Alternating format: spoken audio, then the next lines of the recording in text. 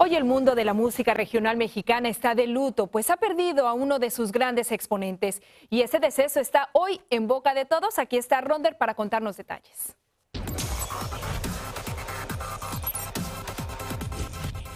Así es, Jessica, y ustedes, querido público, les contamos que la figura responsable de internacionalizar la música norteña y de impulsar la carrera de los más grandes exponentes de este género falleció ayer. Hablamos de don Servando Cano. El empresario musical falleció ayer a los 78 años de edad de un infarto fulminante. Él era originario del estado de Nuevo León y por casi seis décadas Cano representó a los más grandes de la música norteña y tejana, como los Tigres del Norte, Grupo Intocable, Ramón Ayala, el Grupo Pesado y muchos otros. Nuestro más sentido pésame a su familia, quienes en un comunicado agradecieron la avalancha de mensajes de condolencias y expresaron lo orgullosos que están del gran legado que deja en la música norteña. Paz para su alma.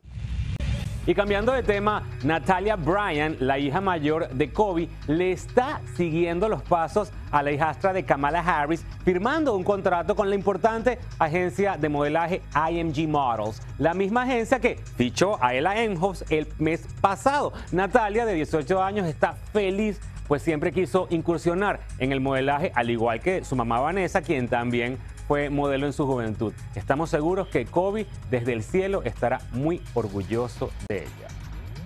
Miren, otro asunto, gracias en buena parte al vocalista de Los Herederos de Nuevo León. Los niños enfermos de cáncer y sus padres tienen hoy sin costo alguno una casa para descansar. Eso después del correspondiente tratamiento. Vamos a México con Magali Ayala, que tiene más de esta preciosa iniciativa. Maga.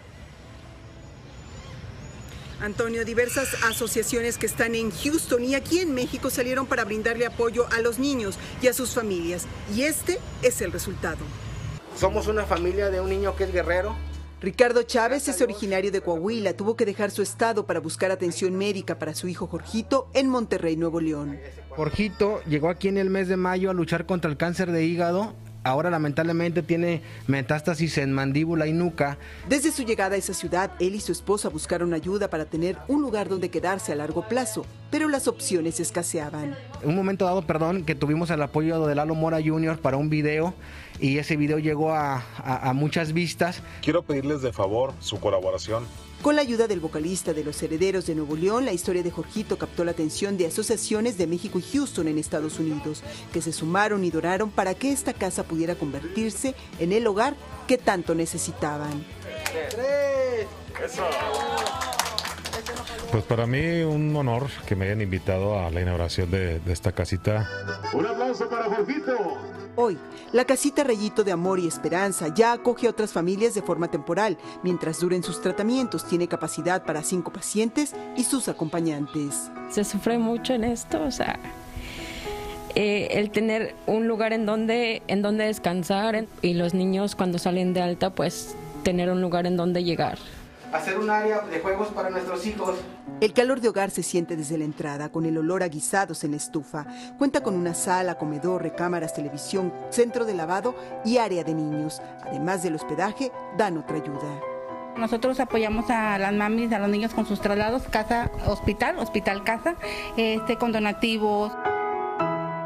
Antonio, para que estas casitas sigan funcionando se requiere de recursos. Es por eso que estos papis piden el apoyo de la sociedad en general si es que desean donar a un granito de ayuda y un rayito de amor y esperanza debido a que hay desabasto de quimioterapias aquí en México. Ojalá sea así para los pequeños. Mucho ánimo a ellos y también a sus familias. Gracias por la información.